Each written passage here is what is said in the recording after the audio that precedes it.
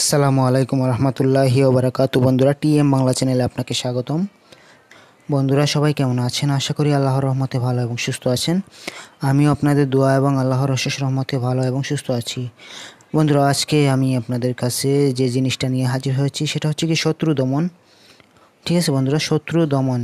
আপনি শত্রুর জ্বালায় অতিষ্ঠ হলে কিংবা আপনাকে কেউ যদি অযথা আপনাকে কষ্ট দিচ্ছে, আপনাকে অযথা পেরেশানি করাচ্ছে কিংবা আপনাকে অযথা কেউ মারধর করে কিংবা আপনাকে কেউ অযথা আপনাকে ডিস্টার্ব করে, তাহলে সেই শত্রুকে আপনি চাইলে কঠিন থেকে কঠিন শাস্তি দিতে পারবেন।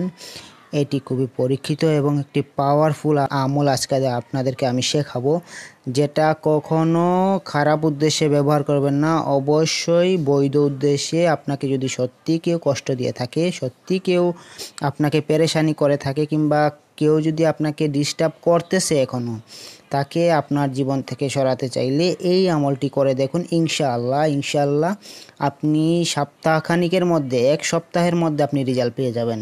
এটা hundred percent guarantee, hundred percent guarantee আমি দিচ্ছি এই আমলটি আপনি করে দেখুন। তবে এটি ইজাজত আমি সবাইকে দেব না, শুধু যারা প্রকৃতপক্ষে ভুক্তভোগী কিংবা কষ্ট পেয়েছেন কিংবা পাচ্ছেন তাদের জন্য, ঠিক আছে? কেউ অযথা কাউকে কষ্ট দেওয়ার জন্য এই আমলটি ব্যবহার করবেন না, আমি বারবার বলতেছি। তাহলে হিতে বিপরীত হবে আল্লাহ আপনাকে পাকড়াও করবে। আল্লাহ আপনাকে মুসিবতে ফেলে দিবে। আপনি যদি কাউকে পরীক্ষা করার জন্য কাউকে পেরেশানি দিতে চান, তাহলে আল্লাহ আপনাকে তার জিম্মায় নিয়ে নিবে। তো ভালো করে বুঝে শুনে এগুলো কাজ করবেন। এটা দেওয়ার উদ্দেশ্য, এটা না যে আপনি যে কাউকে আপনি যে কোনো ক্ষতি করে ফেলবেন, এটা না।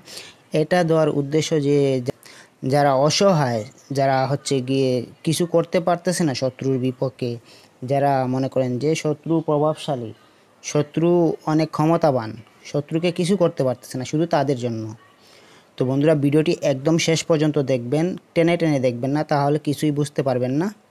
অবশ্যই ভিডিওতে একটি লাইক দিবেন, ভিডিওটি শেয়ার করবেন এবং হচ্ছে গিয়ে আমার চ্যানেলটি সাবস্ক্রাইব করে আমার পাশে থাকবেন, পাশে থাকা বেল আইকনটি চেপে দিবেন।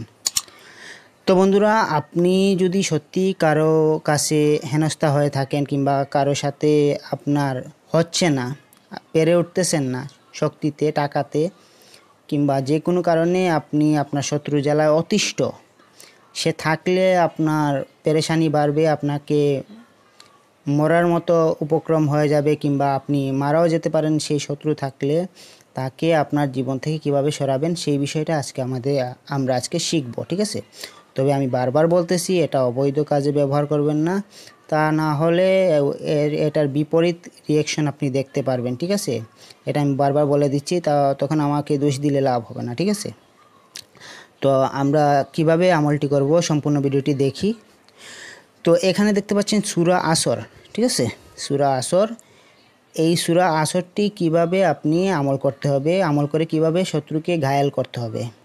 আপনারা যে কোনো শনি অথবা মঙ্গলবার জহরের নামাজের আগে বারোটা থেকে একটার মধ্যে, জহরের নামাজের আগে বারোটা থেকে একটার মধ্যে বিসমিল্লা পাঠ করতে পারবেন না। যায় নামাজে বসে বিসমিল্লা পাঠ করবেন না। দুই রাকাত নামাজ নামাজ পড়ে নেবেন। দুই রাকাত নামাজ পড়ে নেওয়ার পর আপনারা কি করবেন? যায় নামাজে সরাসরি বসবেন। বসে একুশ দানা মোটা লবণ নেবেন। একুশ দানা মোটা লবণ নেবেন। এটা হতে পারে বিট লবণ অথবা হতে পারে সাদা লবণ। যেটা হচ্ছে গিয়ে দানা থাকতে হবে, বড় দানা, ঠিক আছে? যেটা হচ্ছে গিয়ে দেশি লবণ যেটাকে বলি। এই যে গুঁড়া লবণ হলে চলবে না, ঠিক আছে? তো একুশ দানা লবণ নিয়ে আপনারা কি করবেন? সুরা আসর পাঠ করবেন প্রথমে সাতবার। প্রত্যেকবার সুরা আসর পাঠ করে একটা দানা লবণে আপনি ফুক দিবেন। কীভাবে পড়বেন? ওয়াল আসর ইন্নাল ইনসান আলাফি হোসর ইল্লা লাজিনা আমানু ওয়ামিন সোয়ালিহাতি ওয়াতা ওয়াসাবিল হাকি ওয়াতা ওয়াসাবিস সাবার। ঠিক আছে? এইভাবে আপনি পাঠ করবেন। তো প্রত্যেক সাতবারে আপনি সাতটা ফুক দিবেন এবং হচ্ছে গিয়ে সাতবার পরে আপনি শত্রুর নাম বিন তার বাবার নাম বলতে হবে। যদি মেয়ে হয় বিনতে তার মায়ের নাম সহ বলতে হবে এবং আপনি মনে মনে কল্পনা করতে হবে শত্রুর কী চান আপনি, ক্ষতি চান, ধ্বংস হয়ে যাক, শত্রু পুড়ে যাক, মারা যাক এই রকম আপনি চান। তো এইরকম আপনি মনে মনে কল্পনা করতে হবে আর সুরা আসর পাঠ করতে হবে। তো একুশ দানা লবণে আপনি একুশ বার সুরা আসর পাঠ করে ফুক দিতে হবে এবং হচ্ছে কি প্রত্যেক সাতবারে আপনি শত্রুর নাম উল্লেখ করতে হবে। তার বাবার নাম সহ যদি পুরুষ হয় আর যদি মহিলা হয় তার মায়ের নাম সহ আপনি উল্লেখ করতে হবে, ঠিক আছে? তো আপনি লবণ, লবণটাকে তিন ভাগে ভাগ করে নেবেন। প্রথমে সারটা এক জায়গায় রাখবেন, পরে সারটা এক জায়গায় রাখবেন, আর পরবর্তীতে আরও সারটা আরেক জায়গায় রাখবেন। প্রত্যেক সাতবারে সাত, সাতবার ফু দিবেন। ফু দিয়ে আপনার হচ্ছে গিয়ে সুরা আসর পরে ফু দিবেন। ফু দিয়ে শত্রুর নাম, বিন তার বাবার নাম বলতে হবে এবং হচ্ছে গিয়ে যদি শত্রু যদি মেয়ে হয়, বিনতে তার মায়ের নাম বলতে হবে।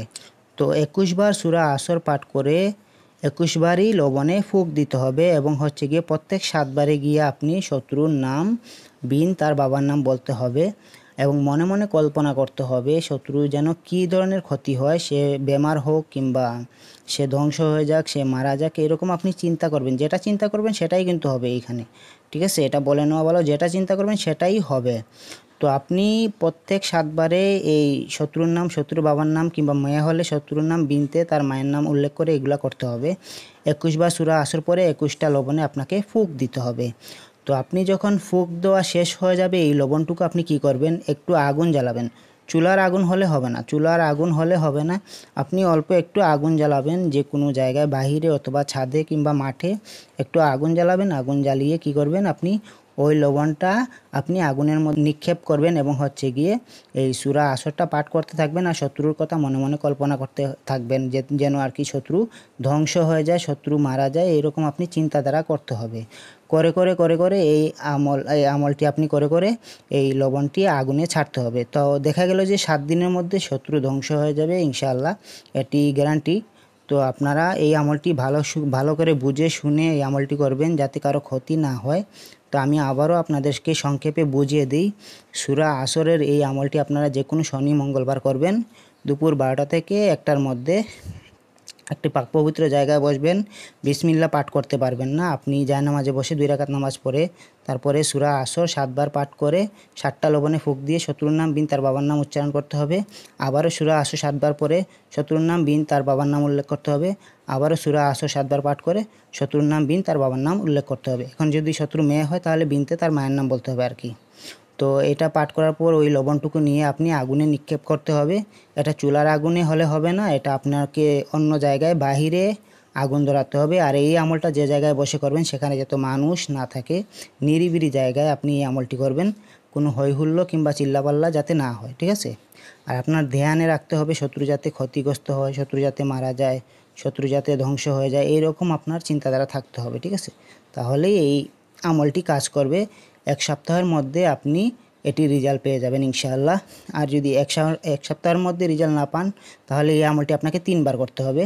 তিনবারের মধ্যে ইনশাআল্লাহ হান্ড্রেড পারসেন্ট আপনার রেজাল্ট পেয়ে যাবেন। তো আজকের মতো ভিডিওটি এ পর্যন্তই। যদি ভিডিওটি ভালো লাগে লাইক কমেন্ট শেয়ার করবেন। আর অবশ্যই আপনারা এটি ভালো উদ্দেশ্যে ব্যবহার করবেন। কাউকে ক্ষতি করার উদ্দেশ্যে, কাউকে কষ্ট দেওয়ার উদ্দেশ্যে আপনি ব্যবহার করবেন না। তাহলে হিতে বিপরীত হবে। আসসালামু আলাইকুম রহমতুল্লাহ।